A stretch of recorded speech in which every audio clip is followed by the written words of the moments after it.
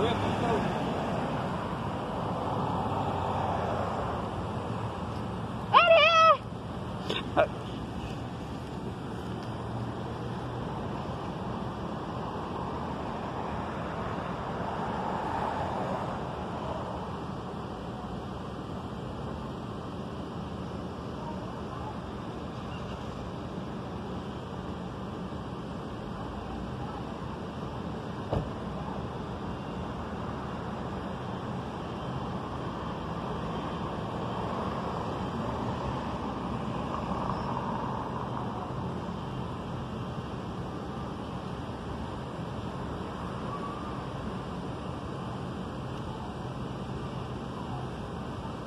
And my sister said that she could uh, feel some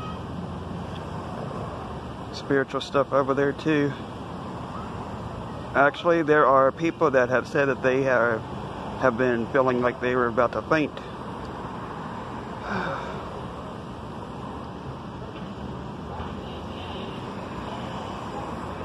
anyway, uh,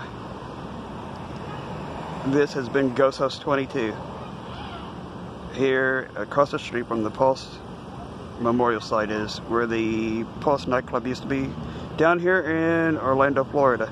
Actually, it'll be a memorial site, a museum, and a survivor's walk. Anyway, um, bye.